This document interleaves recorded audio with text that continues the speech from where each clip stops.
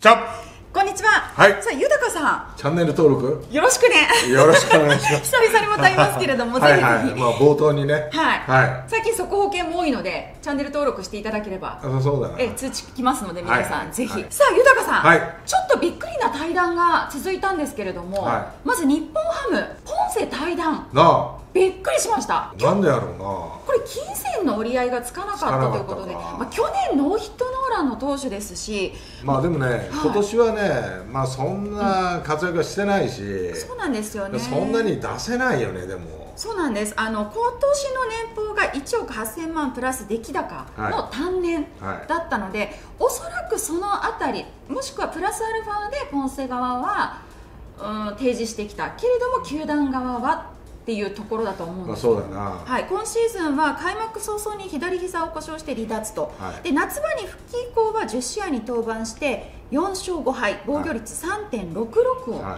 い。マークしていたんですけれども、いや残ると思っていたのいにやもともとね、はい。そのまあ、今年はあんまり良くなかったけども、はい。力あるし、うん。あのコントロールもいいピッチャーなんだよな。だからはい。自滅型ではないし、しっかりゲームは作っていけると思うんだよ。ですよね。うんいやだから、それはもう日本ハムにとってははい。痛手だよね、このポンセがいなくなるっていうのは。そうですよね。うんだからそのポンセ側がどのぐらい、まあ、代理人が要求していたのかっていうのがまあちょっとわからないんですけど、でももう一つです、はい。えー巨人あのメンデス、グリフィン、バルドナードは残留決定したんですけれども、ブリンソン、ロペス、ビーディが対談で中でもやっぱりブリンソン対談ってファンがびっくり、はただね、まあ、ブリンソンも、まあ、ブリンソンは打つと思うよ、これ。い、ですよね。いやただそのまあ走塁面とかね、はい。い、ろいろおっちょこちょいなところはあるけども、悪い選手じゃないよ、ですよね。うん。あとやっぱロペス。はい。こう本当にね自分の力を出し切れないで まあ対談だから。いやだから俺はすごく、はいあのロペスっていうのをどっかでやるとまたちょっと違ったはい力を発揮するかなっていうふうに、はいあの球見てる自体で、うんあんまりこうそんなに打ち込まれるとか、そういうのがないと思うんだよね。そうですよね。いやだから必要なところっていうのは多分あると思うんだよなですよね、はい。まあ、ブリンソンに関しては、はい。その金銭で何かこう折り合いつかなかったっていう情報は出てないので、単にその構想から外れたっていうことだと思うんですよ。まあそうだな、はい。まあジャイアンツっていうのは、まあその選手もいるし、あのなんていうの若手も伸びてきてるしね、だからそういった意味ではやっぱこういると迷うんだよね。使うのを使うの。でもいなかったらやっぱ若手に移行していくとか、はい。まあそういう思考になってくるんで、だからここら辺はこう置いといてもいいけどっていうのはあったと思うん。だよねだからここまでギリギリになったと思うんだけども、はいまあ、だけどやっぱこうチームも変えていかなきゃいかんし、うん。そういう意味でのそのブリンソンを切ったというね。ですよね、うん。でちなみにブリンソン推定年俸なんですけれども単年で1億3000万円だったというところでまあまあいい金額はもらっていたんです、まあそうだね。だからまあブリンソンってい。やっぱこう中日と中日も欲しかった選手なんだよね。だから中日が手を伸ばす可能性はあるよね。おとなるとじゃあブリンソン、ポンセどこの球団が欲しがる争奪戦になるかというのをちょっとズバリ予想なんですけどまずブリンソン。ブリンソンはやっぱりこうやっぱりさブリンソンが取れないから、まあ他に行ったわけでしょ、はい。それが当たらなかったっていう、ん。でブリンソンというのはこう1年間日本の野球をやって、まあ、慣れてるしね。だからそういった意味ではその中日っていうのはしっくりくるなっていうふうには思うんだよね、十分ありますよね。ただまあ DH ないのでもちろん外野、はいレフトセンター、まあ守備はねライト。まあたまに変なこともするけども まあたまになんか目つぶれって いやいやその分打ってくれりゃいいからさ。あまあそうなんですまあ、2割4分8厘、はい。で70安打、11本塁打、35打点というね、まあ、これが1年間トータルしたらどのぐらいの数字になるか、安定して出したらどうなるかっていうこともあるし、だから俺は面白いと思うよ、そうですよね、うん、だから中日なんかは本当面白いかなっていうふうには思ってる、ですよね、はい、で d n a も取っといたらどうやって？同じセ・リーグに行かれると非常に打ち込まれた経緯があるからブリンソンには、はい。だからまあ取っておけ。他に行かせるよりは、はい。ちょっともらっとけみたいな。お金払ってみたいな。外野でたまにたでもレギュラーっていうことではなくていやレギュラーでいいと思うよ。例えば外野だとそうするとだからそこら辺で競争が生まれるじゃない。あそうか、うん。まあ、佐野選手 d n a って意外に競争してるようであんまりないからね、うん。だから佐野がいて、桑原関根がいて、ん。まあ来年からオースティンが入ってくるのか、うん。まあ太田もいるし。はい、でだけどもある程度レギュラーっていうのは大体決まってるという。うんうん。でもそこにブリンソンが入ると、まあ、激しくなるというねあと足も使えるのでそうそうそうそう。にとってはすごくいいです。よまあそうだね、あのーやっぱこうなんていうのまあオースティンも走れないことはないし。はい。ただそのブリンソンの足を考えるとやっぱ外を考えた時に、うん。やっぱブリンソンの足っていうのはね、はい。まあ内野と外野では違うけども、まあラインナップに足の走塁のねただ走塁は下手だよ。下手ですね。足が速いっていう。足が速いっていうだけで。そこだけですいやだからまあでも足のことを考えるとやっぱ余計にあの中日っていうのがねやっあぱ球場広いし、はい。まあ、守備範囲だとか、うん。まあ、走力だとか、そういうことを考えるとなんとなくやっぱこうしっくりくるよな。ただ中日になるとそうすると外国人枠っていうのが結構。まあそこも、うん。でも競争させればいいじゃない。ああ去年みたいあ今年みたいにっていう。ああそうそうそうそう、でもまあブリンソンは俺は打つと思うよ。あの広いあのドームでも大丈夫ですかね中日。いやホームランというよりも中距離だよねどちらかというと、うんうんうんであそこでねホームランといったらね大谷ぐらいしかいないよ。本当にホームランを パワーヒッターっていうのは、はい。だってビシエドだってうん。ホームラン打てないんだからなかなか、ですよね。あだからブリンソンにそれを求めるとやっぱ外国人としては違ってくるけども、でもまあ走力だとかいろんなことを考えた時にあのブリンソンっていうのはうん。なんかこうしっくりくるような気がする、ですよね。うん。あと他どこの球団行きそうですか、いやいやまあ外野でまあ外野って結構まあ揃ってるからねどこもね、まあそんなにはいらないかもわからないけども、まあ広島ももう2人取ったし、そうですね。ん。内野ただが内野なんだよね、はい。両方ともね。だからまあ面白いし。はい。西川抜けてるし。そうです。っていうことを考えるとブリンソンあってもおかしくないなっていうふうに思うしね。あとはあのポランコルートのはい。ロッテ、去年ポランコ。まあそうだな、はまあ、荻野とか角中とか、あの少しベテランがねはい。増えてきてるし、まあその追っ手が藤原だとか、はい。あーそういうのはいるけども、まあ取っといてもいいかもわかんないよね。いいですよね。しかうんも右だしな。そうですよね、うん。で同じまあ関東圏というか住んでるところも。いやもう外国人は関東圏関係あるから 一応今のところとベース変えなくていいのかな。まあまあまあそうそりゃそうだけどもさ まあ俺が例えばアメリカ行った時に、はい。まあ、ニューヨークに住んでて、はい。じゃあ今度シカゴって言ったら、うおシカゴにも興味あるなと思うもん。いいいかなやそりゃそうだそう思うけどな。そうかあんまりだからあんまりこうそこは考えないんじゃないかなって働きやすい環境というか、うん。それとやっぱり自分を本当に積極的に使ってくれる、うん。まあ、そういうところを探してるかなという感じがするよね。もしロッテだと、まあ、DH がポランコなのでブリンソンが DH に入るってことは少なくてやっぱり外野の守備につくってこと。いやもうあの走力とかさいろいろ考えると、やっぱブリンソンはやっぱ出した方がいいよね。DH じゃなくて。まああの DH ポランコでいいと思うよ。いいですかね、うん。あと他パ・リーグで。はい。ブリンソン。はい。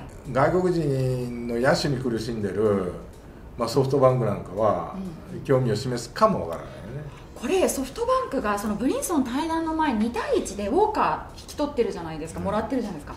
ウォーカーはうん。DH もう鉄板だか 守備がない。らいや守備はない考えない。ということは、守備につける外国人。うん。だったらブリンソンなんかあり得るよね。これ時期が時期だったらもしかしたらブリンソンとの2対1もあったかもしれないですか、ね。まあ可能性はあるよなあと西武西武、うん。あ西武も外国人こう切ってるしね、はい。だからそういう意味では西武っていう可能性もある。あおー。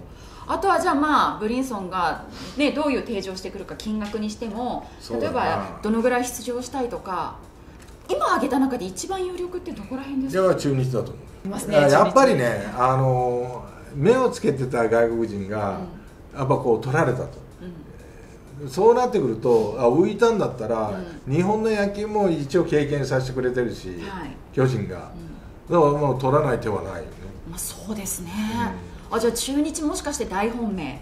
うん、可能性はあると思う、まあ、あと西武とかね。あ対抗馬西武だったりとかはい d n a はとかですね、はい。じゃあ続いてポンセ。ポンセ。はい。いやこれはね俺はねいいピッチャーだと思うよ、うんそうですよね、うんだからまあ故障もおそらくないと思うし、だからそうだな争奪戦になると思うよ。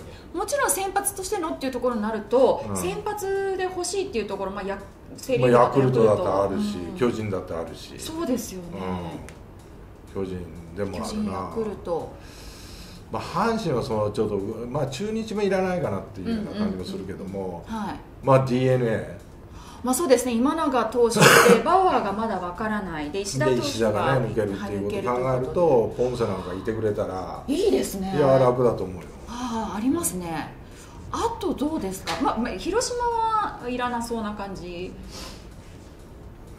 でもいてもいいけどな。いてもいいんですよねいてもいいけどポンセ、なうん、まあ、阪神はいらないかなっていうような感じがするそうですよね。そんそう動かないと思うけどね、うん、で阪神あのゲラ投手、ねうん。獲得間近かなんて言われているので。はい。まあオリックスとかね。ピッチャーオリックスか。それは行くとまたき強固になるよ。ですよね、うん。まあ、2枚消え、ね、いなくなるので、まあ、その分いるっちゃいるんですけどあとはやっぱこういうタイプのピッチャーソフトバンクとか好きそうかなっていう。まあそうだな、うん。ソフトバンク根こそぎ行く時行くからな。そうなんです。いやだからまあ可能性がなくはないよ。やっぱピッチャー足りないもんね。ソフトバンクそうですよね。そうそうそう、ん。だからまあそういう意味ではまあ巨人ヤクルト d n a うん。えーソフトバンクロッテオリックス、ロッテもか。ソフトバンクだったらいやただ楽天も可能性はあるようん。楽天もやっぱこうあの老朽化してるというかさ、まあそうですね、まあ、ある程度ベテランが増えちゃってるから、はい。だから楽天という可能性もあるよね。十分ありますよね。だからここら辺は マネーゲームになってくるよね多少はね。もうポンセはそうでしょうね、うん。となるとやっぱマネーゲームソフトバンク強いですし、うん、行くのかな。でソフトバンクまだここまで金額かけて FA とかの選手って取れてないじゃないですか。取れてないな。ってなると、まあ、山川穂高選手がどうなるかまだねわからないですけど、行くのかなポンセっていう、まあ可能性はなくはないな。十分ありますよいやただそのブリンソンもポンセも、やっぱ日本の野球を経験して、まあ、ある程度の数字を残して、い。まあ物足りないけどね、うん。まあ、今年なんかポンセなんかもう本当に物足りないけども、はい。まあブリンソンはなんか経験値を1年間積んだという期待感、はい。だからポンセというのはやっぱ一昨年そのノーヒットノーランやってる、まあ、実績、まあ、そういうことを考えるとやっぱ俺はやりそうな気はするけどね。そうですね、うん。十分にやれそうただな気がします。ね長期契約はしない方がいいよ。もう本当に単年？みたいな、だからもう長期契約やったらどっか行ったりとか言うかもわからない1年目は絶対そう。いやいや可能性があるから、はだから1年間見て、ねじゃあ長期契約をしましょうとか、うん。そういう契約の方が俺はいいと思うあの外国人選手だとそう、ね、その方がこう発揮しやすいというか。でまあそうだね。だから1年間この数字をクリアしてくれたら、まあ、例えばポンセだったら10勝クリアしてくれたら、まあ、長期3年から4年の契約をしましょうとか、はい。まあ、ブリンソンに至っては2割8分の、ねえーまあ、20本近く、まあ、球場によって違うけどもね、はい。あの使う球場本拠地にする球場によって違うけども、そしたら3年から4年契約しましょうみたいな、まあ、そういう契約でやった方がいいかなっていうふうには思うけどね。あと豊さんさ最初おっしゃっていたロペス、はい。まあ、今シーズン救援陣の一角としてはい。入ってきて、まあ、8試合の登板に終わってしまったんですけれども、はい。豊さん的にはロペスもいけるんじゃないかまだ。ロ、ペスはいけると思うんだけどねあの球持ってたら。まあ、救援なので中ということであ中でやっぱり困ってる球団ヤクルト？そうだな。まあヤクルト、うん。ねそうですよね。えもう面白いし。ただあそこも枠があってさ。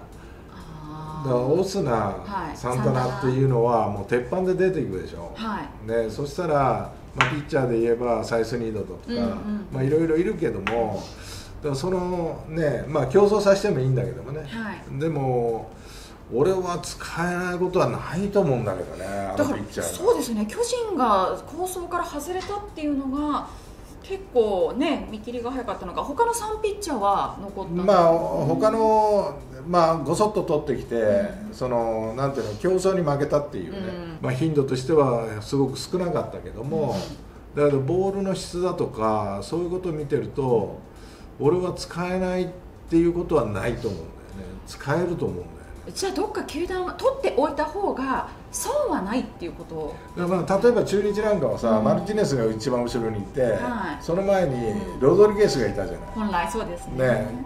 この形っていうのは素晴らしかったんだよね、はい、でもこのロドリゲスが行っちゃったからさ、はい、どっかに、ね、だから日本人で賄ってるけども、でも日本人もすごく成長してきてるけども、うん、だけどもそこに1枚加わるとまたいいのかなっていうふうには俺は思うけどね。8回ロペスって9回につなぐっていうことですよね。でキューバでしょ？あそっか。ロペスは。だから、うん、だからあのあれと一緒一緒ですもんね、うん、寂しいこともないし。まあそうだね、うん、だからまあ面白いかなっていうふうには思うけどもね。そうですねいやまあ12月ねあの山崎幸也投手が決まってから、はい。はい、まあ、石田投手、まあ、ヤクルトがまた調査にっていうのも出てきたりとか、まあね、あとは、ね、中田翔選手山川穂高選手の動向がまだ出てこないので、はい、いろいろ皆さんこうね見つつのポンセ行こうかプリンソン行こうかっていう会議が、まあ、はい、まあ本当に今はもう球団としては来季に向けて必死にこうね、はい、あの会議をしてると思うよですよね、うん、12月中には決まりそうですか？まあ決まると思うよ、うん、越年はしないような気がするな、まあ、そんな気はしますよね、うん、まあねもしまた決まったり新たな動きあればこの動画でもあの速報ではいあのお伝えしていくので冒頭にも言いましたがチャンネル夏かお前。あ私夏です。あの もう万年夏じゃなお前冬ですか？冬だ当たり前だよ 寒いです。寒いなのであのもうねあのこのチャンネルはホットということで、はい、あのチャンネル登録していただき通知をねオンにしていただければそうだな。はいいつもピッピッピッピになるのでぜひよろしくお願いします